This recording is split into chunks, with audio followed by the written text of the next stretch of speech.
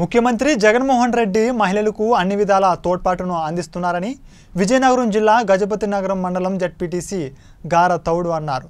జన సంక్షేమమే ధ్యేయంగా జగనన్న ప్రభుత్వం మహిళల జీవితాల్లో వెలుగులు నింపుతుందని ఆమె పేర్కొన్నారు.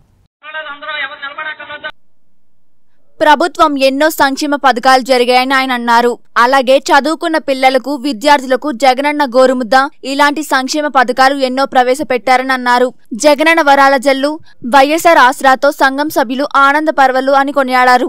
ఈ కార్యక్రమంలో మండలి ఎంపీపీ బెల్లని జ్ఞానదీపిక సర్పంచ్ గంచాడ కళావతి తదితర నాయకులు పాల్గొన్నారు.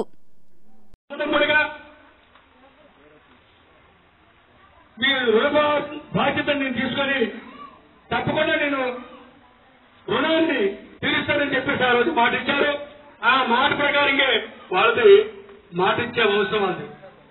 మరి రాజశేఖర రెడ్డి గారిని చూసాం మనం. మాట తిరగని మనం చెప్పినటువంటి వంశం నుంచి వచ్చారు ఆయన.